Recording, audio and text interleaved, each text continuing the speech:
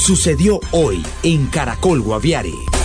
Habla Jonathan Constantino Santos, presidente de la subdirectiva Azonal Meta y Llanos Orientales, sobre la importancia del Foro de la Reforma a la Justicia mañana viernes en San José del Guaviare se conformó esa comisión con el objeto de identificar cuáles son esas necesidades que no hemos logrado suplir en el servicio de administración de justicia y que no permiten que el servicio que recibe la ciudadanía sea el que constitucional y legalmente se le debe suministrar. El alcalde de San José del Guaviare, Willy Alejandro Rodríguez, anunció mayor control y vigilancia en la entrada y salida de esta capital. Esta fue una de las decisiones importantes abordadas mediante Consejo de Seguridad. Vamos a ejercer mayor control en el ingreso y la salida, situación que nos permite que los habitantes se puedan desplazar hacia el área rural y en la parte urbana de manera tranquila, pero también controlada. Hoy tenemos todo el acompañamiento de la Policía Nacional Habla Carlos Hernán Rodríguez Becerra, quien vuelve a ocupar el cargo de Contralor de la República,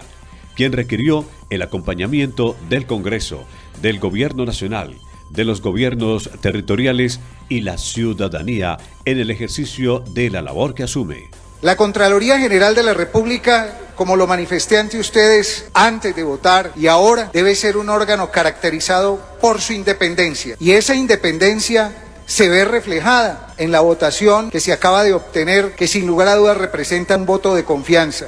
Todas las noticias y actualidad en www.guaviareestereo.com. Síganos en nuestras redes sociales como Guaviare Estéreo. Hoy por hoy Guaviare, de lunes a viernes en Caracol Radio 102.3 FM.